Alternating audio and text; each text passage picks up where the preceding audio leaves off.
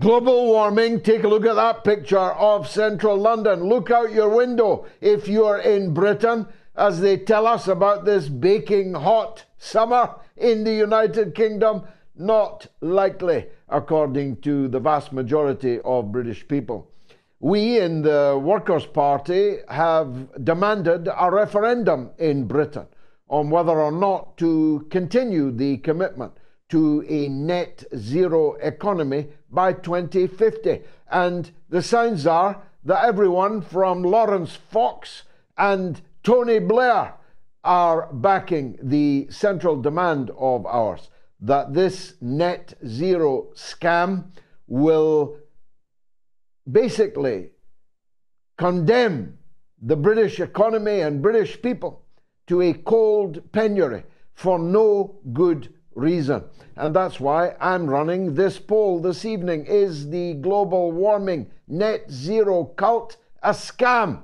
You can answer yes or no on my Twitter, on my Telegram, t.me forward slash George Galloway, on the YouTube community poll, and on the YouTube stream that many of you are watching now. If you haven't yet subscribed to my YouTube channel, please do so and like the show if indeed you do like it. And I'm confident that you're going to like it tonight. We have a panel almost like no other, and we have pretty good panels. Well, the Kiev regime has landed bombs on the financial district in the center of Moscow. As Ambassador Craig Murray put it on Twitter just a few minutes ago, whilst that may be legal, it's definitely not wise. And the Russian response is likely to be very robust indeed. In the last 48 hours, the Kiev regime has bombed a museum and coffee shop in Rostov and now landing drones, explosive, suicide kamikaze drones in the center of Moscow. It will not be long before we see the Russian response.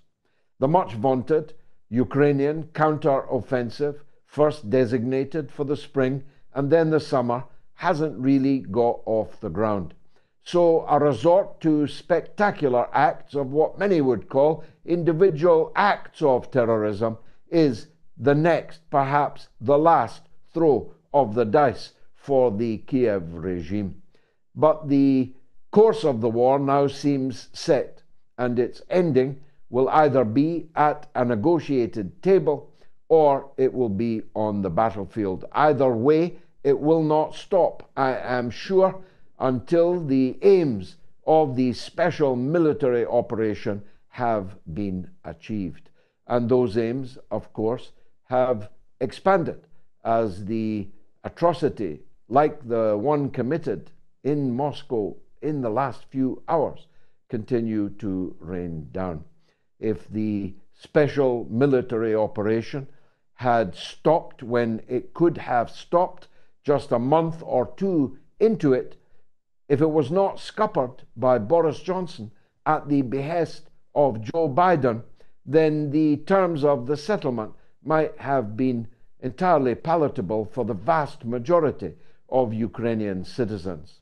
Now, after 522 days the terms of the settlement will be much more condign and will surely include the liberation of Odessa, the landlocking of the stump state of Western Ukraine by the taking of the entire southern Black Sea coastline of Ukraine, and the liberation of the ethnically Russian people of Transnistria.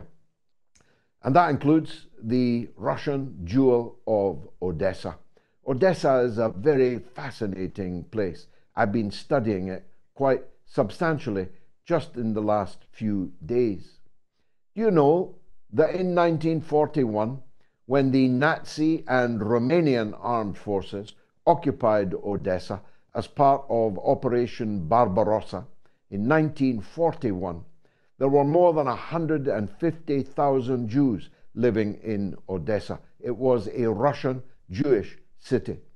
By the time the Red Army liberated Odessa in 1944, there were fewer than 5,000 Jews left in the city.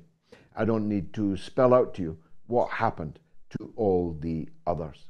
In fact, this lash up of Japan and Germany and Italy and Romania in this current war against Russia is so redolent of historic significance.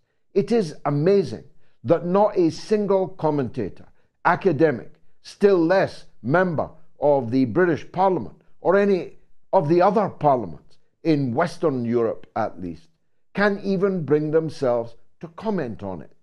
The idea that Russia is now confronted with precisely the same state alliance, axis, we used to call it, is so obscene, so grotesque. You would have thought that it would have entered the discourse of any sensible person, considering the potential course and outcome of this war in Ukraine. But it does not. Romania is now one of the principal bases for the NATO attack on Russia, which is clearly intending to break up, to balkanize, to fragment the Russian Federation.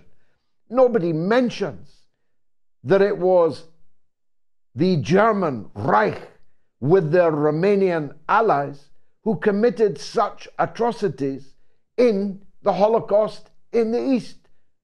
But then, how could they mention it? How could we justify recreating the axis that caused the deaths of 26 million people in Russia and the wider Soviet Union in the years 1941 to 1945. Best that we sweep that under the carpet. Well, Russia will respond, I've no doubt, to the Rostov and Moscow attacks, maybe even while we are on the air. And if they do, we'll bring these developments to you. But let me turn my attention to Washington. The circus around the Hunter Biden, Joe Biden affair sure ain't funny. It's true there are many clowns in play in that circus, but the story they are bringing us is dark indeed. Just ponder this. Why did Barack Obama allow Joe Biden complete control over America's Ukraine policy when he was the vice president. Unless there are no intelligence services in the United States, they must have known and told President Obama everything that Joe Biden and Hunter Biden and the Biden crime family were doing in Ukraine. But Barack Obama allowed it to continue. And what has it now brought us? It has brought us the corruption, final corruption of the American Republic itself. The Russiagate hoax, which was in part predicated on the United States' deceitful entanglement in Ukraine. The impeachment of President Trump for demanding answers to what the Bidens were doing in Ukraine. The corruption of the American justice system that we have seen played out this week in the attempt to hoodwink a federal judge into granting immunity to Hunter Biden, into crimes far more serious than the ones that he intended to plead guilty to. The corruption of the First Amendment of the American Constitution. They would not have had to corrupt the social media companies. They didn't have to do much work to do so. It's true. The door was open. But they corrupted the First Amendment of the American Constitution itself by a state corporate lash up to conspire against the freedom of speech, thought, even assembly of the American people, guaranteed under the First Amendment to the Constitution. And not only has it begotten this total corruption of American democracy, it has begotten a war with the Russian Federation, which could turn out to be World War III, all to cover up Joe Biden's crimes in the Ukraine, all to cover up the corrupt nexus of the Biden crime family, the Ukrainian oligarchs, and the succession of Ukrainian puppet politicians. It doesn't get much more serious than all of that. It's a big question why the American public are putting up with that. But it's a bigger question why the European governments on our behalf are going along with it. It's one thing, your sons dying for Kupiansk and what side of the line it's going to be. It's another thing doing so under the leadership of Joe Biden and Mitch McConnell and Nancy Pelosi, a collection of gerontocratic leaders that make Chernenko and Brezhnev look like mere striplings.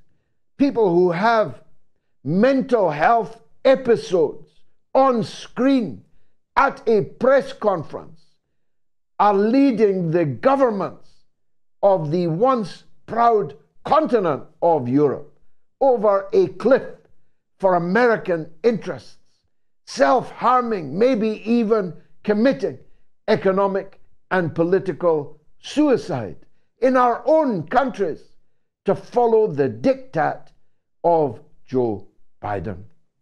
Meanwhile, Russia and China, for that matter, are going from strength to strength. They are demonstrating daily the tectonic shift in the plates. They are demonstrating daily the new friends and the consolidation of old with new friends that are lining up alongside them. Putin called an Africa summit in St. Petersburg this week. It was attended by 49 countries, heads of state, deputy heads of state. Thousands of delegates from Africa were in Russia. They weren't in London, and they certainly weren't in Paris, about which more in a moment.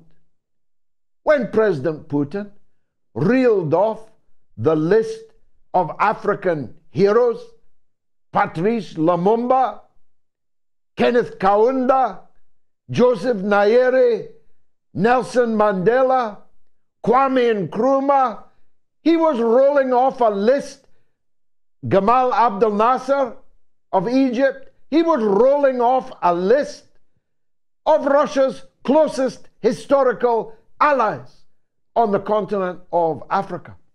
People that Russia supported and the West murdered or overthrew, subverted, conspired against, destroyed. Do you see where I'm going here? These old friends of Russia are joined by new friends, like the magnificent 35 year old president of Burkina Faso, a man so powerful and eloquent and handsome.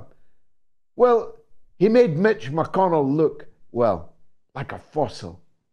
And when the president of Burkina Faso said no one should pity a slave who does not rebel, this resounded through the African continent.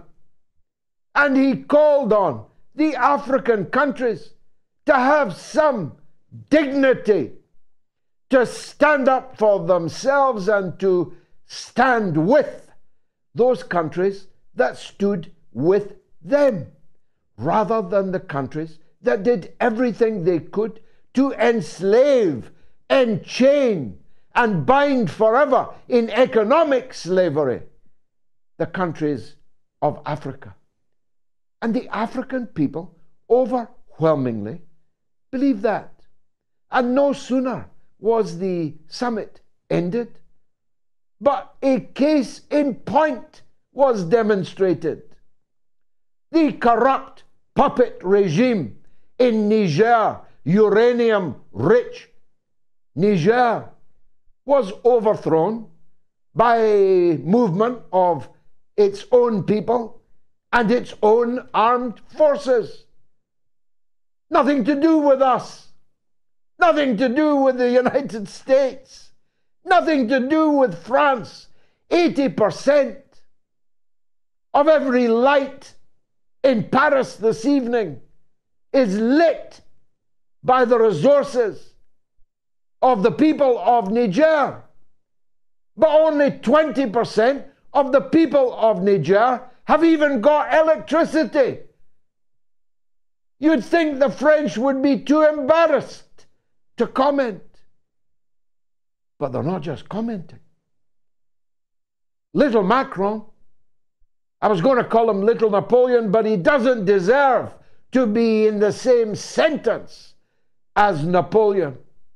Little Macron has threatened the people of Niger to reinstate their puppet president so he can continue to loot the country in the interests of France. And Antony Blinken has backed him. Antony Blinken demanded the reinstatement of the corrupt puppet president of Niger. I mean, I don't want to swear on air, but who is Antony Blinken to decide who rules Niger? And if you were in any doubt as to whose benefit and disbenefit this overthrow of the Niger government might be, you already know the answer in the attitude of France and the attitude of the United States to the coup. So I know nothing about the new leadership in Niger, but they're all right by me if they can make Macron and Blinken so very, very angry. We'll be talking about these shifting tectonic plates and about one of the most surprising turns of events the coming of North Korea, the DPRK, and its leader Kim Jong un in from the cold.